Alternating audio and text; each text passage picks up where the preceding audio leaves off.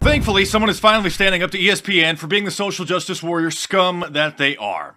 ESPN is being sued for wrongful termination by an announcer, a veteran announcer, by the way, who worked there for about 10 years, after some supposed racist remarks that he didn't make about Venus Williams, which were construed as racist by the social justice warrior psychos on Twitter. During the Australian Open recently, one of the commentators said that Venus Williams was using guerrilla tactics during her game, which meant aggressive gameplay, as in guerrilla warfare. But of course, the liberal lunatics online who see racism around every corner thought that he called her a gorilla, which is actually spelled differently than in guerrilla warfare or guerrilla tactics. At the time, none of his fellow announcers or co-workers or anybody else thought it was a problem, but once the social justice warrior psychos started flooding ESPN with comments, they decided to fire him. He recently Hey, boss! If you're going back, stay on the path.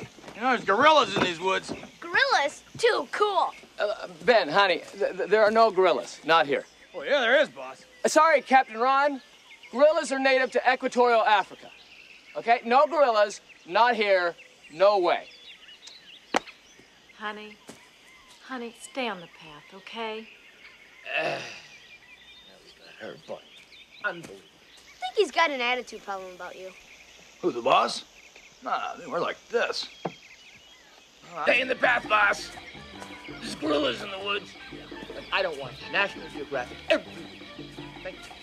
I'm not gonna. I, I can carry on my own. Single gorilla anywhere around here, I'll eat it.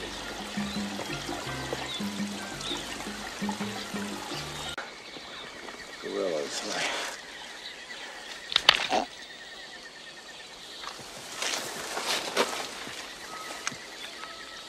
Uh-huh.